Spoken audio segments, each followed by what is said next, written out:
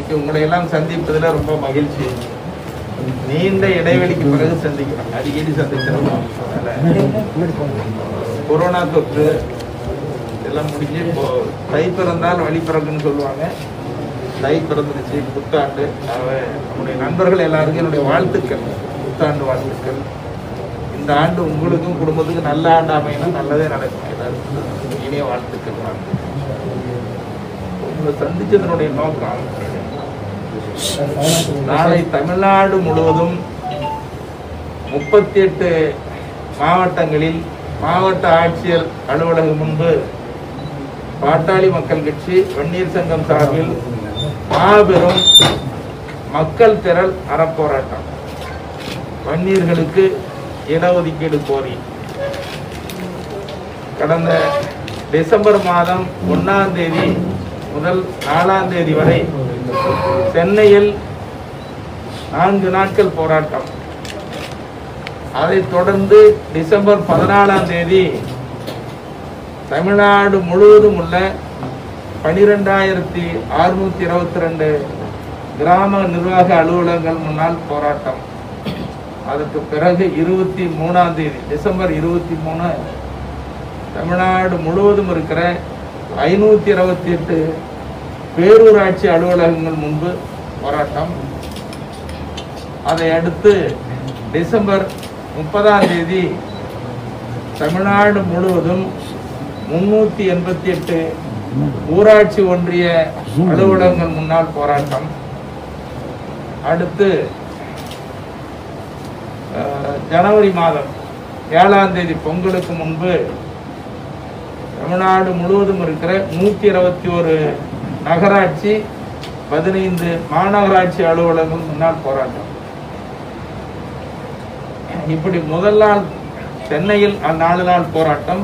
அடுத்து போராட்டம் ஐந்து கட்ட போராட்டத்தை நிறைவேற்றியிருக்கும் ஆனால் தமிழக அரசு வன்னியர்களுக்கான இடஒதுக்கீட்டை அறிவிக்காமல் காலம் தாழ்த்தி வருவது வருத்தம் அளிக்கிற வேதனை அளிக்கிற நடவடிக்கை. அதை தொடர்ந்து தான் நாளை தமிழ்நாடு முழுவதும் இருக்கிற மாவட்ட ஆட்சியர் அலுவலகம் முன்னாள் போராட்டம். இந்த போராட்டம் ஒரு வித்தியாசமான போராட்டமா ஒரு வெற்றி போராட்டமா அமைய போகுது. எப்படின்னா பல்வேறு அரசியல் கட்சிகள் இருக்கிற வன்னியர்கள் அவரவர்கள் கட்சி கரை வேட்டியை கட்டிக்கொண்டு அவங்க கொடியை ஏந்தி வருகிறார்கள். நான் எந்த கட்சியில் இருந்தாலும் என் குடும்பத்துக்கும் என்னுடைய தலைமுறைக்கும் இடஒதுக்கீடு வேண்டும் என்று அந்த உணர்வோடு வரக்கூடிய அளவுக்கு இன்னைக்கு ஒட்டுமொத்த வன்னியர்கள் மத்தியிலே இந்த செய்தி போய் சேர்ந்திருக்குது. அதுக்கு மேல எல்லா சமுதாய மக்களும் ஆதரிக்கக்கூடிய ஒரு சூழல் உருவாகி இருக்கு. இப்போ இது வரைக்கும் நடந்த போராட்டங்களை விட மக்கள் இப்போ உணர்ந்திருக்கிறாங்க.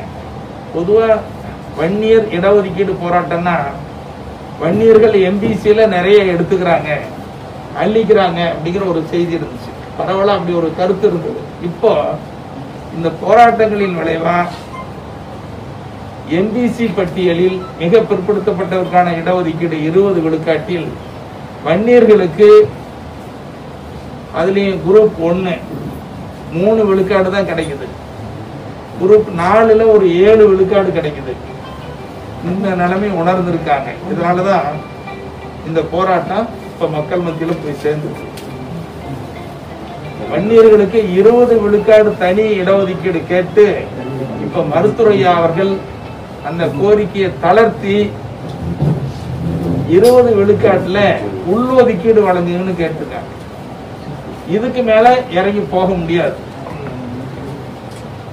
இன்னும் சொல்ல போனா இந்த இடஒதுக்கீடு போராட்டம் எந்த சமுதாயத்திற்கும் எதிரானது அல்ல எந்த அரசியல் கட்சிகளுக்கும் எதிரானது அல்ல இது அரசியல் சாசனம் வகுத்துள்ளவாறு அடிப்படை உரிமையை கேட்கிற போராட்டம்.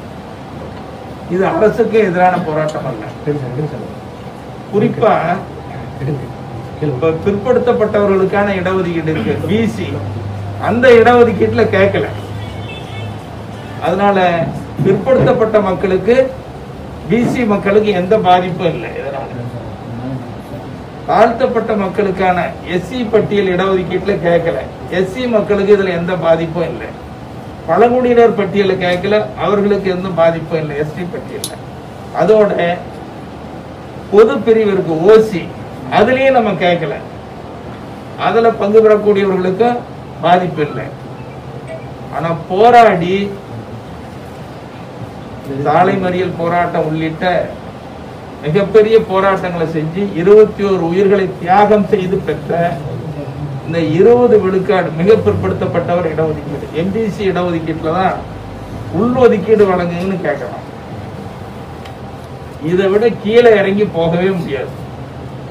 இந்திய அரசு வழங்காம காலம் தாழ்த்துவது என்பது மக்கள் மத்தியில மிகப்பெரிய ஒரு ஆத்திரத்தை அதிர்ச்சி உண்டாக்கக்கூடிய நடவடிக்கை தான் இருக்குது.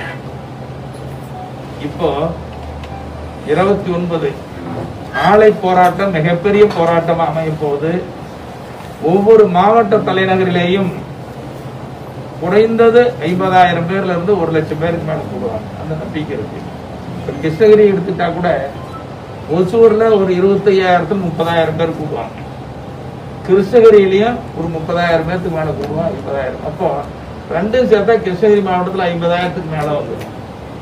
இப்படி தருமபுரியில் ஐம்பது அறுபதாயிரம் பேர் கூடுவாங்க. ஒவ்வொரு மாவட்டத்திலையும்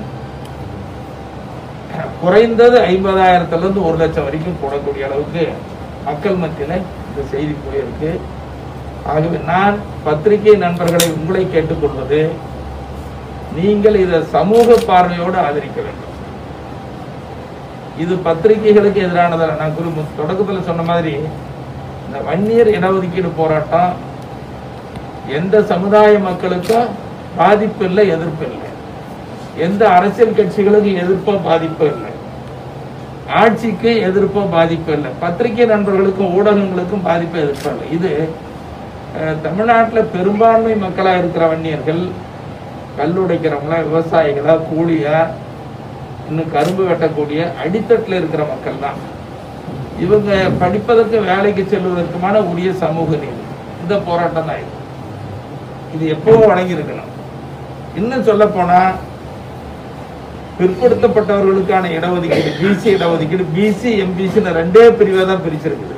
இது மருத்துவையாவினுடைய போராட்டத்தினால தான் ஆனா அந்த பிசி இடஒதுக்கீட்டு கூட இன்னும் பல தொகுப்பா பிரிக்கலாம். நீங்க பக்கத்துல பாத்தீங்கன்னா கர்நாடகாவுல ஐந்து தொகுப்பா பிரிச்சிருக்கிறாங்க. பிசி இடஒதுக்கீடு ஆந்திராவுல ஆறு தொகுப்பா பிரிச்சிருக்கிறாங்க. கேரளாவில் எட்டு தொகுப்பா பிரிச்சிருக்கிறாங்க. அப்ப சமூக நீதியினுடைய பங்கு எல்லாருக்கும் பரவலா போய் சேருது. ஆனா தமிழ்நாட்டுல மட்டும் இந்த இடஒதுக்கீட்டில் குளறுபடியும் கோளாறு நிறைஞ்சுதான் இருக்குது. பிசி ஒன்று தான் அது எம்பிசி ஒன்று ரெண்டு தான் ரெண்டு தொகுப்பாக தான் பிரிச்சிருக்கிறாங்க. ஆகவே இது பிரிக்கணுங்கிறதா எல்லாருடைய நோக்கம்? இது எல்லா சமுதாய சங்கங்களும் அதெல்லாம் கேட்குறாங்க அதனாலதான் இந்த போராட்டம் நியாயமான போராட்டம். தமிழக அரசு குறிப்பாக முதலமைச்சர் அவர்கள் இனியும் காலந்தாழ்த்தாமல் நாளைய போராட்டத்தை ஏற்றுக்கிட்டு இடஒதுக்கீட்டை வழங்க வேண்டும் என்று வற்புறுத்தி கேட்டுக்கொள்கிறோம். நாளை போராட்டம் வித்தியாசமான போராட்டம். பல்வேறு அரசியல் கட்சியை சார்ந்தவர்கள் அவங்க கரவேட்டி கட்டிக்கிட்டு கொடியேற்றி வர்றாங்க. பல சமுதாயங்களை சார்ந்தவர்களை ஆதரிக்கிற ஒரு போராட்டமா இப்ப உருவெடுத்திருக்கு. இதுதான் மிகப்பெரிய வெற்றி போராட்டம். தான் இந்த செய்தி தான் உங்ககிட்ட சொல்றதுக்காக தான் நாளை போராட்டத்தை பற்றி தான் சொல்ல வந்தோம். இந்த செய்தி. இந்த போராட்டத்துக்கு முக்கியமான நீங்க எல்லாம் அரசியல் அடுத்தது தேர்தல் கூட்டணி அதை பத்தி தான் பேசுவீங்க. எனக்கு புரிய இதனால இப்ப தேர்தல் கூட்டணி பத்தி எதுவும் பேசலை. அந்த எங்கள் நோக்கம் எல்லாமே இடஒதுக்கீடு இடஒதுக்கீடு இந்த போராட்டத்தை பற்றி தான் இருக்குது. இந்த போராட்ட முடிவுக்கு பிறகு மருத்துவையா அவர்கள் தேர்தலை பற்றி அடுத்த கட்டத்தை பற்றி அவர் தான் முடிவெடுப்பார். அது சொல்லியிருக்கிறோம். அதை முடிவெடுப்பதற்கு வரக்கூடிய முப்பத்தி ஒன்றாம் தேதி பாட்டாளி மக்கள் கட்சி நிர்வாக குழு கூட போகுது நிர்வாக குழுவில் பேசுவாங்க. அதுக்கு பிறகு மருத்துவரையா அவர்கள்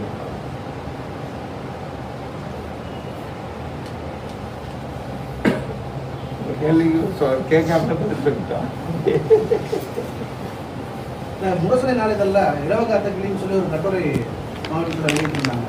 திமுகவோட கூட்டணிக்கு பாமக காத்திருக்குதா அதை பத்தி உங்களோட கூட்டணி நம்ம பேசல. தேர்தல் பத்தி பேசல. எல்லாம் இங்க நோக்கம் பூரா இடஒதுக்கீடு தான் இருக்கிறோம் எல்லாரும் கேட்டுக்கிட்டே இருக்காங்க. என்ன முடிவுன்னு அதுக்காக மருத்துவரையா முப்பத்தி ஒண்ணாம் தேதி நிர்வாக குழு கூட்டியிருக்காரு. அதுக்கு பிறகு பார்க்கலாம். இடஒதுக்கீடு அரசு ஏற்கலைன்னா கூட்டணியில் நீடிப்பீங்க இல்ல, இடஒதுக்கீடு ஏத்துக்குவாங்கன்னு நம்பிக்கை இருக்கு. ஏன்னா நாளைக்கு போராட்டம் ஒரு மாறுபட்ட போராட்டமா வித்தியாசமான போராட்டமா இருக்கு. இதுக்கு முன்னால வன்னியர்களுக்கு இருபது விழுக்காடு தனி இடஒதுக்கீடு கேட்டான்.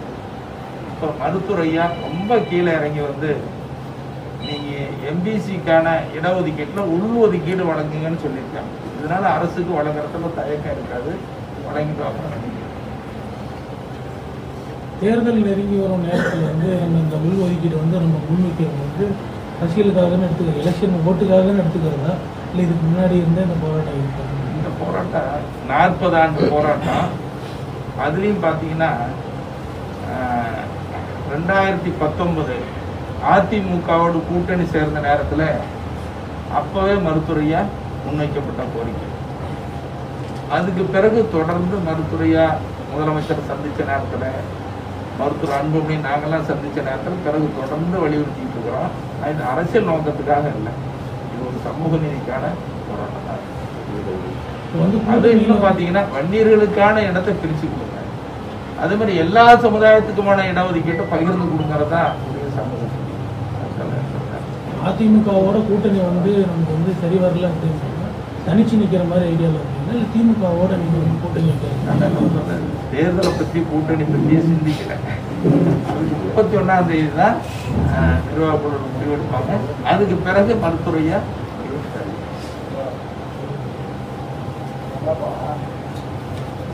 இன்னொன்று இப்போ பொதுவாக இன்னைக்கு தமிழ்நாடு வந்து முக்கியத்துவம் வாய்ந்த மாநிலம். மழைக்காலங்களில் வெள்ளச்சாதம் ஏற்படும். புயல் வந்தால் வெள்ளச்சாதம் ஏற்படும். ஆனால் வறட்சி அடிக்கடி ரொம்ப கடுமையாக வாய்க்குது வறட்சி தான் ரொம்ப அதிகமாக அதையெல்லாம் போக்கணும். தமிழ்நாட்டுக்கு நிரந்தர தீர்வுன்னு சொன்னால் கோதாவரி காவிரி இணைப்பு.